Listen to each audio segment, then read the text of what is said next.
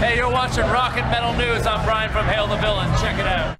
Hey guys, this is Ron from YouTube's Rock and Metal News with a Rock and Metal News update. Get set for another new music video from Rammstein. They are dropping a video for the song Adieu on November the 24th at 9 a.m. Pacific, which is 12 Eastern Time.